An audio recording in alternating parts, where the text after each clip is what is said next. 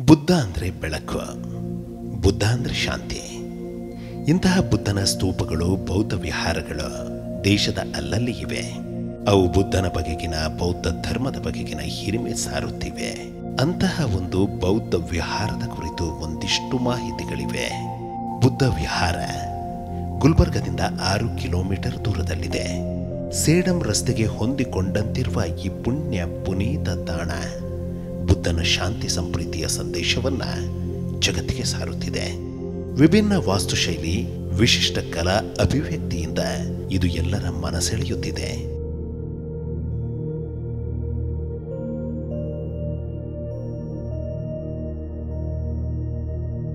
ಸರಿಸುಮಾರು ಎಪ್ಪತ್ತೈದು ಎಕರೆ ವ್ಯಾಪ್ತಿಯಲ್ಲಿ ಹರಡಿಕೊಂಡಿರುವ ಈ ತಾಣದ ವೈಶಿಷ್ಟ್ಯಗಳು ಅನೇಕ.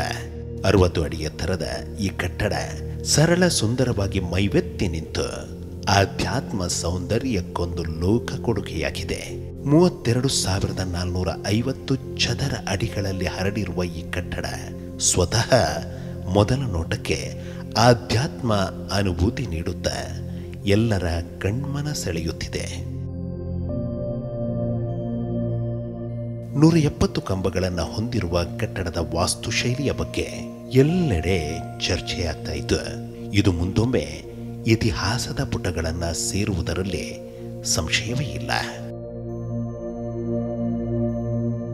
ಇದರಲ್ಲಿ ಇನ್ನೂರ ಎಂಬತ್ನಾಲ್ಕು ಬ್ಲಾಕ್ಗಳಿದ್ದು, ಪ್ರತಿ ಬ್ಲಾಕ್ ಕೂಡ ವಿಶಿಷ್ಟ ಮತ್ತು ಅಪರೂಪದ ಆಘರ ಅಲ್ಲಿನ ಕಲಾಕೃತಿ ಅಜಂತಾದ ಅಮೋಘ ಕಲಾಕೃತಿಗಳನ್ನ ನೆನಪಿಸುತ್ತೆ. ಇಲ್ಲಿದೆ ಆರು ಅಡಿ ಎತ್ತರದ ಸುಂದರ ಕರಿಗಲ್ಲಿನ ಬುದ್ಧ ಪ್ರತಿಮೆ. ಇದು ರಾಮನಗರ ಮೂಲದ ಕಲಾವಿದ ಶ್ರೀಯುತ ಅಶೋಕ್ ಗುಡಿಗಾರ್ ಅವರ ಕಲಾ ನೈಪುಣ್ಯತೆಯಲ್ಲಿ ಅರಳಿರುವ ಕಲಾಕೃತಿ. ಇದರ ಶೈಲಿ ಬಗ್ಗೆ ಈಗಾಗಲೇ ಚರ್ಚೆಗಳೇ ನಡೆಯುತ್ತಿವೆ ಯಕ್ಷ ಮತ್ತು ಯಕ್ಷಿಯನ್ನ ಹೋಲುವ ಕಸುರಿಯಿಂದ ಅರಳಿರುವ ಕಲಾಕೃತಿಯಲ್ಲಿ ಮಾನವತೆಯ ಸಾಕಾರ ಮೂರ್ತಿಯಾಗಿರುವ ಬುದ್ಧನ ಮುಖದ ಮಂದಹಾಸವನ್ನ ಕಂಡು ದಂಗಾಗದವರೇ ಇಲ್ಲ भवतो सब्बमङ्गलं रक्षन्तो सब्बदेवता सब्बबुद्धानुभावेन सब्बधम्मानुभावेन सब्बसङ्गानुभावेन सदा सुते भवन्तु ते सब्बपापस्य अकरणं कुशलस्य उपसम्पदा ಇನ್ನು ಇಲ್ಲಿನ ಕೆಳ ಛಾವಣಿಯ ಅಂಗಣದ ವಿಸ್ತಾರದ ಬಗ್ಗೆ ಮಾತನಾಡುವುದಾದರೆ, ಇಲ್ಲಿ ಸರಿಸುಮಾರು ಎರಡು ಸಾವಿರ ಭಕ್ತಾದಿಗಳು ಏಕಕಾಲಕ್ಕೆ ಕೂತು ಪ್ರಾರ್ಥನೆ ಸಲ್ಲಿಸಬಹುದು. ಇಪ್ಪತ್ನಾಲ್ಕು ಯಾರ್ಡ್ ಸುತ್ತಳತೆಯ ಗರ್ಭಗುಡಿ ಅಮೃತ ಶಿಲೆಯಿಂದ ಅತ್ಯಾಕರ್ಷಕವಾಗಿ ಅಲಂಕಾರಗೊಂಡಿದೆ. ಬುದ್ಧನ ವಿಗ್ರಹವೇ ಇಲ್ಲಿನ ಪ್ರಮುಖ ಆಕರ್ಷಣೆ. ಇದು ದಕ್ಷಿಣ ಭಾರತದಲ್ಲೇ ಅತಿ ದೊಡ್ಡ ಕುಳಿತ ಭಂಗಿಯ ಬುದ್ಧ ವಿಗ್ರಹ ಎಂಬ ಹೆಗ್ಗಳಿಕೆಗೂ ಪಾತ್ರವಾಗಿದೆ. ನಮ್ಮಲ್ಲಿ ಈ ಬುದ್ಧ ವಿಹಾರ ಕೇಂದ್ರದ ಎಂಟು ತಾಸು ಸತತವಾಗಿ ವಿಸಿಟ್ ಕೊಡ್ತಾರೆ. ಹೊರದೇಶದಿಂದ ಕೂಡ ಬಂದಿದ್ದಾರೆ. ಶ್ರೀಲಂಕಾ, ಥೈಲ್ಯಾಂಡ್, ತೈವಾನ್ ಎಲ್ಲ ಕಡೆಯಿಂದ ಬಂದು ಮಾಡ್ತಾರೆ. ಆಮೇಲೆ ಇಲ್ಲಿ ಕನಿಷ್ಠ ಅಂದರೆ ಐದುನೂರು ಜನರಿಗೆ ಕುಂತು ಪ್ರೇಯರ್ ಮಾಡೋಂಥ ವ್ಯವಸ್ಥೆ ಇದೆ. ಆಲ್ ಇಂಡಿಯಾದವರು ಬುದ್ಧ ಧಮ್ಮಚಾರಿಗಳು ಕೂಡ ಬಂದು ಇಲ್ಲಿ ಪ್ರೇಯರ್ ಮಾಡಿ ಶಿಬಿರಗಳು ಮಾಡಿ ಈ ಹೋಗಿದ್ದಾರೆ. ಇನ್ನೂ ಕೂಡ ಮುಂದೆ ಯಾವುದೇ ಶಿಬಿರ ಆದರೂ ಕೂಡ ಇಲ್ಲಿ ವ್ಯವಸ್ಥೆ ಮಾಡೋಂಥದ್ದು ವ್ಯವಸ್ಥೆ ಇದೆ. ನಾಲ್ನೂರು ಕಿಲೋ ಭಾರವಿರುವ ಈ ವಿಶಿಷ್ಟ ವಿಗ್ರಹವನ್ನ ಪಂಚಲೋಹದಿಂದ ವಿದ್ಯುಕ್ತವಾಗಿ ತಯಾರಿಸಲಾಗಿದೆ.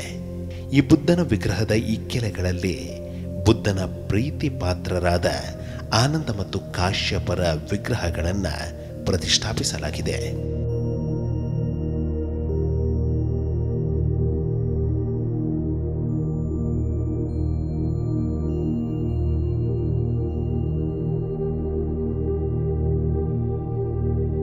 ಈ ವಿಗ್ರಹವನ್ನು ಅಕ್ಟೋಬರ್ ಒಂಬತ್ತು, ಎರಡು ಸಾವಿರದ ಎಂಟರ ವಿಜಯದಶಮಿಯ ದಿನ ಇಲ್ಲಿ ಪ್ರತಿಷ್ಠಾಪಿಸಲಾಗಿದೆ. ಈ ಪ್ರಾರ್ಥನಾ ಮಂದಿರದ ಛಾವಣಿ ತುಂಬ. ಬುದ್ಧನ ಜೀವನ ಗಾಥೆಯನ್ನ ಕಲಾಕೃತಿಯ ರೂಪದಲ್ಲಿ ಚಿತ್ರಿಸಲಾಗಿದೆ. ಈ ಸ್ಮಾರಕದ ಮತ್ತೊಂದು ಆಕರ್ಷಣೆ ಎಂದರೆ ಈ ಬೌದ್ಧ ಸ್ತೂಪ. ಮೂವತ್ತು ಅಡಿ ಸುತ್ತಳತೆಯ ಇಪ್ಪತ್ತು ಅಡಿ ಅಗಲದ ಈ ಸ್ತೂಪ ಈ ಸ್ಮಾರಕದ ಪ್ರವೇಶ ದ್ವಾರದಲ್ಲಿದೆ. ಈ ಸ್ತೂಪದ ಹೊರಭಾಗವನ್ನ ಇಟಾಲಿಯನ್ ಮಾರ್ಬಲ್ ಬಳಸಿ ಅಲಂಕರಿಸಲಾಗಿದೆ. ಈ ಸ್ತೂಪವನ್ನ ಅಶೋಕನ ಶೈಲಿಯ ವಾಸ್ತುಶೈಲಿಯಲ್ಲಿ ನಿರ್ಮಿಸಲಾಗಿದೆ ಅನ್ನೋದಕ್ಕೆ ಸಾಕ್ಷಿ ನೀಡುತ್ತವೆ. ನಾಲ್ಕು ದಿಕ್ಕಿನಲ್ಲಿರುವ ಈ ನಾಲ್ಕು ಕಂಬಗಳು. ಈ ಸ್ತೂಪದ ಹೆಬ್ಬಾಗಿಲನ್ನ ಬೀಟೆ ಮರದಿಂದ ನಿರ್ಮಿಸಲಾಗಿದ್ದು, ಇದರಲ್ಲಿರುವ ಅನುಪಮ ಕುಸುರಿ ಗತ ವೈಭವವನ್ನು ಮತ್ತೊಮ್ಮೆ ನೆನಪಿಸುತ್ತೆ. ಮೈಸೂರು ಅರಮನೆಯ ಕಾಷ್ಟ ಕಲಾವಿದರ ಕುಟುಂಬದವರಾದ ಕೈಸರ್ ಅಲಿ ತನ್ನ ಸಾಂಪ್ರದಾಯಿಕ ಶೈಲಿಯ ಅನುಭವದೊಂದಿಗೆ ಇದನ್ನು ನಿರ್ಮಿಸಿದ್ದಾರೆ. ಭೂಮಟ್ಟದಿಂದ ಎಪ್ಪತ್ತೈದು ಅಡಿ ಎತ್ತರದಲ್ಲಿರುವ ಗೋಪುರವನ್ನು ಕಣ್ತುಂಬಿಕೊಂಡಷ್ಟು ಸಾಲಲ್ಲ.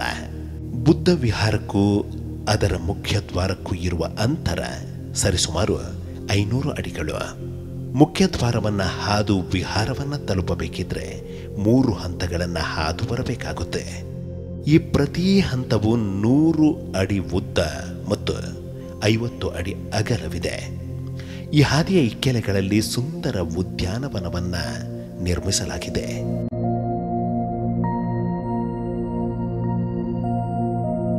ವೀಕ್ಷಕರು ಇದರ ಅನುಭವವನ್ನು ಪಡೆಯಬಹುದು. ಈ ಪ್ರವೇಶ ದ್ವಾರದ ಮೂರು ಬದಿಗಳಲ್ಲಿ ಆನೆ ಮತ್ತು ಸಿಂಹದ ವಿಗ್ರಹಗಳನ್ನು ಕೆತ್ತಲಾಗಿದೆ. ಬುದ್ಧ ವಿಹಾರದ ನಾಲ್ಕು ದಿಕ್ಕುಗಳಲ್ಲಿ ದ್ವಾರಗಳಿದ್ದು, ಅದು ಪಕ್ಕ ಸಂಚಿ ವಾಸ್ತುಶೈಲಿಯನ್ನು ಹೋಲುತ್ತದೆ.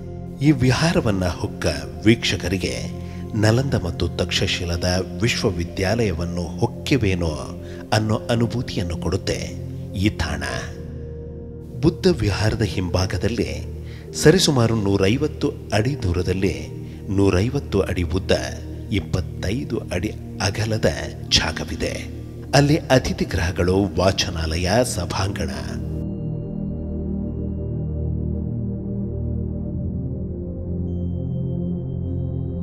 ನಮ್ಮ ಹತ್ತಿರ ಇಪ್ಪತ್ತು ಸಾವಿರ ಪುಸ್ತಕಗಳ ಸಂಗ್ರಹ ಇದೆ. ಇದರಲ್ಲಿ ನಾವು ಓದುಗರ ಅನುಕೂಲಕ್ಕಾಗಿ ನಾಲ್ಕು ಭಾಗಗಳನ್ನಾಗಿ ಮಾಡಿದ್ದೇವೆ. ಒಂದು ಸ್ಪಿರಿಚುವಲ್ ಸೆಕ್ಷನ್ ಅಂತ, ಅದರಲ್ಲಿ ಹಲವಾರು ಧರ್ಮಕ್ಕೆ ಸಂಬಂಧಪಟ್ಟಂಥ ಪುಸ್ತಕಗಳನ್ನು ನಾವು ಇಲ್ಲಿ ಸಂಗ್ರಹಿಸಿದ್ದೇವೆ. ಅದರಲ್ಲಿ ಬುದ್ಧಿಸಮ್ಮು, ಜೈನಿಸಮ್ಮು, ಇಸ್ಲಾಮಿಕ್ಕು ಕ್ರಿಶ್ಚಾನಿಟಿ ಸಿಕ್ಕಿಸಮ್ಮು ಆನಂತರ ಫಾರ್ಸಿ ಧರ್ಮಕ್ಕೆ ಸಂಬಂಧಪಟ್ಟಂಥ ಪುಸ್ತಕಗಳು ಕೂಡ ನಾವು ಇಲ್ಲಿ ಇಟ್ಟಿದ್ದೇವೆ.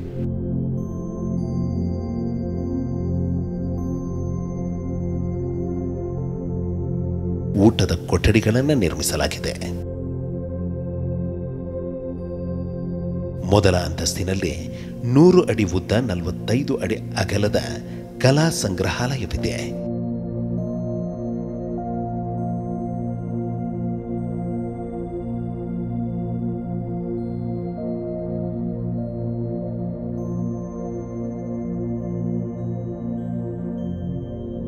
ಇಲ್ಲಿ ಅರವತ್ತು ಇಪ್ಪತ್ತಾರು ಅಡಿ ವಿಸ್ತೀರ್ಣದ ಬಯಲು ರಂಗಾಲಯವಿದ್ದು, ಅಲ್ಲಿ ಏಕಕಾಲಕ್ಕೆ ಎರಡು ಸಾವಿರದ ಐನೂರು ಜನ ಪ್ರದರ್ಶನ ವೀಕ್ಷಿಸಬಹುದು. ಪ್ರವೇಶ ದ್ವಾರದ ಬಲಬದಿಯಲ್ಲಿದೆ ಹನ್ನೆರಡು ಅಡಿ ಎತ್ತರದ ಕಂಚಿನಿಂದ ತಯಾರಿಸಿದ ಡಾಕ್ಟರ್ ಅಂಬೇಡ್ಕರ್ ವಿಗ್ರಹ. ತನ್ನ ಹತ್ತು ಜನ ಅನುಯಾಯಿಗಳ ಜೊತೆ ಬುದ್ಧ ವಿಹಾರದತ್ತ ಸಾಗುವ ಭಂಗಿಯಲ್ಲಿರುವ ಈ ವಿಗ್ರಹ ಇಲ್ಲಿ ಜನಾಕರ್ಷಣೆಯ ಕೇಂದ್ರಬಿಂದು.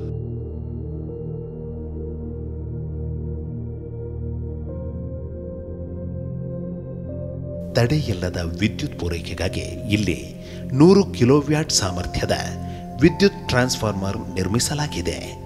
ಈ ಸ್ಮಾರಕದ ಕನಸಿನ ಯೋಜನೆಯನ್ನ ಸಾಕಾರ ರೂಪಕ್ಕೆ ತರುವಲ್ಲಿ ಬೆಂಗಳೂರು, ಗುಲ್ಬರ್ಗ, ಮೈಸೂರು, ತಮಿಳುನಾಡು, ರಾಜಸ್ಥಾನ ಸೇರಿದಂತೆ ದೇಶದ ವಿವಿಧೆಡೆಯ ಕಾರ್ಮಿಕರು, ಕಲಾವಿದರು ಕಾಷ್ಟ ಕಲಾವಿದರು ಅಪಾರವಾಗಿ ಶ್ರಮಿಸಿದ್ದಾರೆ. ಹೀಗೆ ಬಹಳ ಕಾಳಜಿಯಿಂದ ಮತ್ತು ಸಾಂಪ್ರದಾಯಿಕ ಮೌಲ್ಯಗಳನ್ನು ಅಳವಡಿಸಿಕೊಂಡು ನಿರ್ಮಿಸಿದ ಈ ಸ್ಮಾರಕ ಎಲ್ಲರ ಮನಸೆಳೆದಿದೆ. ನಾನು ಒಂದು ಅವರ ತತ್ವ ಮತ್ತು ನೀತಿಯನ್ನು ಪಾಲನೆ ಮಾಡ್ತಾ ಇದ್ದೇನೆ. ಅದಕ್ಕಾಗಿ ಈ ತತ್ವಗಳ ಜೀವಂತ ಇರಬೇಕು ಅನ್ನತಕ್ಕಂಥ ದೃಷ್ಟಿಯಿಂದಲೇ ನಾನು ಯೋಚನೆ ಮಾಡಿದೆ. ಸೊ ಇದು ಎಲ್ಲ ಇಷ್ಟೊಂದು ನಮ್ಮ ಭಾಗದಲ್ಲಿ ಇಷ್ಟು ಪ್ರಚಾರ ಆಗಿದೆ. ಅದಕ್ಕಾಗಿ ಆ ತತ್ವಗಳನ್ನು ಯಾಕೆ ನಾವು ಉಳಿಸ್ಕೊಂಡು ಹೋಗಬಾರದು ಅಂಥೇಳಿ ನಾನು ಅಲ್ಲಿ ಬೌದ್ಧ ವಿಹಾರ ಕಟ್ಟಬೇಕು ಅಂತ ಪ್ರಾರಂಭ ಮಾಡಿದೆ. ಮೊದಲು ಎರಡು ಸಾವಿರ ನಾಲ್ಕರಲ್ಲಿ ಪ್ರಯಾ ಪ್ರಾರಂಭ ಮಾಡಿದೆ. ಆಮೇಲೆ ಸ್ವಲ್ಪ ತೊಂದರೆ ಆಯಿತು. ಅಂದರೆ ಆ ಜಾಗ ಸರಿ ಹೋಗಲಿಲ್ಲ, ಕಲ್ಲುಗಳು ಸಿಗಲಿಲ್ಲ ನಮಗೆ ತಕ್ಕಂತೆ.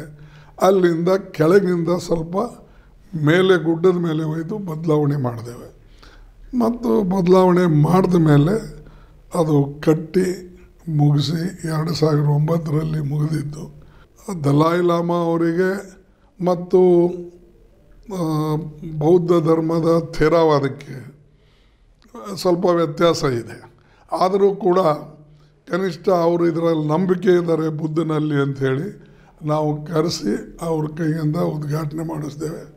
ಮತ್ತು ಈ ದೇಶದ ಮಹಿಳಾ ಅಧ್ಯಕ್ಷರಾಗಿದ್ದರು ಪ್ರತಿಭಾ ಪಾಟೀಲ್ ಅವರು.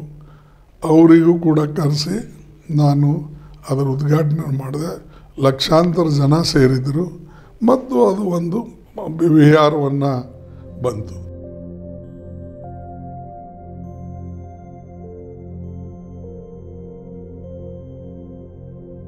ಇತಿಹಾಸದ ನಡಿಗೆಯಲ್ಲಿ ಈ ಸ್ಮಾರಕ ಒಂದು ಮೈಲುಗಲ್ಲು ಆಗೋದರಲ್ಲಿ ಯಾವ ಸಂಶಯವೂ ಇಲ್ಲ.